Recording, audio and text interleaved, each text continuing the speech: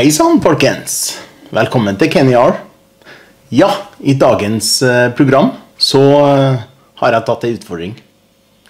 Og utfordringa kommer fra han eh, Roy Inge Hestetun, eller Royboy som han kaller seg på YouTube.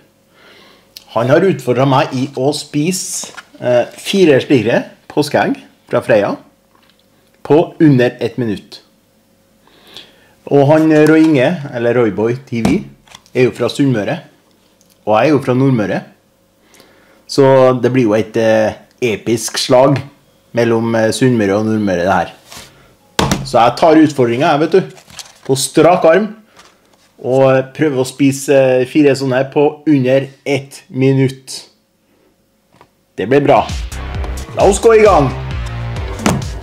Men jeg må iallfall prøve å Jeg vil i hvert fall åpne opp eh, pakken først. For å liksom klare å ete dem uten at jeg må drive og åpne dem opp for hver gang jeg skal ta et nytt. Så da gjør jeg det så enkelt. Åpner dem først, og så kan vi begynne å se om jeg klarer å ete dem opp her.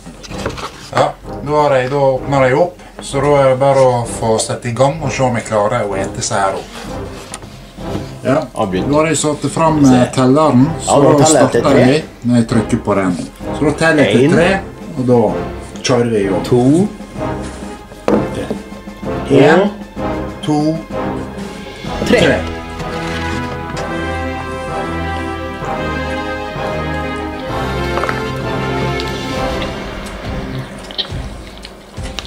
To igjen.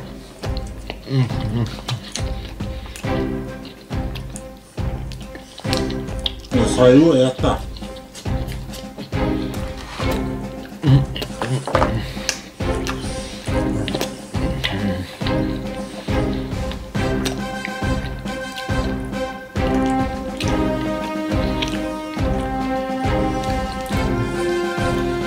Sånn.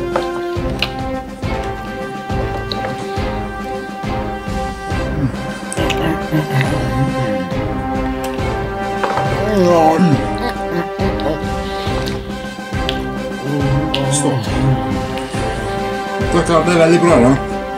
Ah, jeg kunne klart å til fire til. jeg. Det var jævla god å ete. Men takk for at dere så på videoen her. Kommenter gjerne på eh, om det er andre som klarer dette her. Og ete opp eh, fin sånn påskeegg på en del minutt. Så eh, takk for at dere så på, så snakkes vi. Gjerne lik meg videoen, gjerne abonner på min kanal, så snakkes vi. Ha det. Ja, folkens. Som dere ser, så gikk det ikke helt veien. Men det er litt mer igjen her. Mm. Ja, ja. Mm. Åh, men godt var det i hvert fall. Så Men vi må få se det positive i det, vet du. Og det er jo at uh, sunnmøringene er mer glupske enn oss uh, nordmøringer. det får jo være dagens uh, lille visdomsord. Men uh, håper at du likte videoen. Og hvis du likte den, trykk liker og abonner. Så ses vi i en annen video. Shalabais!